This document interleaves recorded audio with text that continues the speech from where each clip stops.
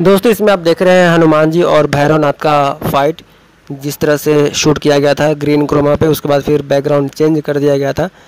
तो video clip आप लोग देखिए, आप लोगों से रिक्वेस्ट इतना ज़रूर मैं करूँगा कि लाइक और कमेंट वीडियो पे ज़रूर कीजिए। हम जो भी वीडियो आपको दिखाते हैं, आपके लाइक कमेंट से हमारा हौसला बढ़ता है और हम अच्छे अच्छे वीडियोज़ लाते हैं, आपको दिखाते हैं। हनुमान जी बने हैं निर्भय वैधवा जी और भैरवनाथ का करेक्टर कर रहे हैं उज्ज्वल गौरा जी। तो इस तरह से ये शॉर्ट वीडियो है जो आप लोग देखें और उम्मीद करता आपको अच्छा लगा होगा। तो आप कमेंट करके ये भी बताइए कि आपको कितना अच्छा लगा और आप हनुमान जी को कितना लाइक करते हैं, कौन सा बढ़िया कमेंट आप हनुमान जी के लिए कर सकते हैं। थैंक यू दोस्तों, जय श्री राम, फिर मिलते हैं आप लोगों से अगली वीडियो में। तब तक के लिए bye bye take care thank you